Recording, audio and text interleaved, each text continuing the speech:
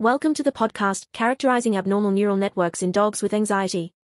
I'm Brenda, and I'm excited to explore this intriguing topic with you. Anxiety is a common mental health issue in dogs, and understanding how it affects their neural networks can be crucial in helping these animals lead happier, healthier lives. In this episode, we'll dive into the latest research on the subject and discuss how scientists are trying to characterize abnormal neural networks in dogs with anxiety. So, if you're a dog lover and want to learn more about the mental health of our furry friends, keep listening.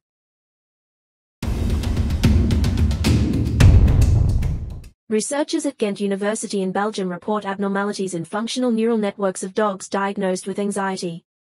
Led by Yangfeng Xu, Ghent Experimental Psychiatry Lab, GHEP, or SAMI, and Emma Christiaen, a medical image and signal processing, MEDISIP, the study shows that compared with healthy dogs, those with anxiety exhibit stronger connections between the amygdala and other regions of the anxiety network.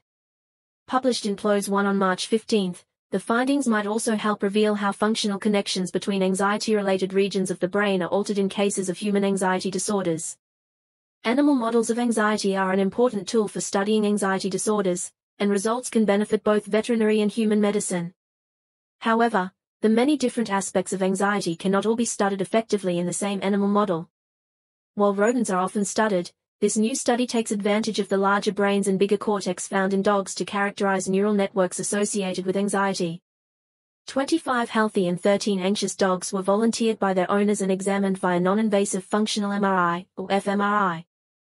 The dogs were treated in accordance with all necessary welfare guidelines, ensuring that they suffered no negative consequences of the study. The researchers studied the resting state of dogs with and without anxiety, comparing network metrics and connectivity between groups, and determining their associations with anxiety symptoms. Resting state fMRI indicated that functional connections between the amygdala and other parts of the anxiety circuit, particularly the hippocampus, were stronger than normal in anxious dogs. Within the anxiety circuit, network metrics including global and local efficiency were higher in the amygdala of anxious dogs. Dogs which exhibited fear and anxiety towards strangers, as well as excitability, were more likely to have brains showing abnormal network metrics in the amygdala. The researchers believe their findings show that resting state fMRI is a good tool for studying dog models of anxiety, and that future studies like this could increase our understanding of how anxiety-related circuitry in the brain is altered in anxiety-disordered animals, and possibly even humans with the condition.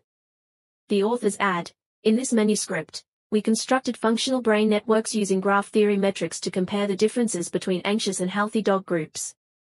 Our findings could provide more insight into the topological organization of the functional brain connectome in anxiety disorder, thus lead to a better understanding of the pathophysiological mechanisms and illness cause of anxiety in both animals and humans and help the development of more personalized and effective therapies. In conclusion, this study sheds light on the functional neural networks associated with anxiety in dogs, revealing stronger connections between the amygdala and other regions of the anxiety network in dogs with anxiety compared to healthy dogs. This research not only benefits veterinary medicine but can also help to uncover how functional connections between anxiety-related regions of the brain are altered in cases of human anxiety disorders. By using resting state fMRI, this study highlights the importance of this tool for studying anxiety in dog models and how it can increase our understanding of anxiety-related circuitry in the brain. We look forward to future studies building on these findings to develop more personalized and effective therapies for both animals and humans. Thank you for listening and we invite you to stay tuned for more exciting topics on our upcoming podcasts.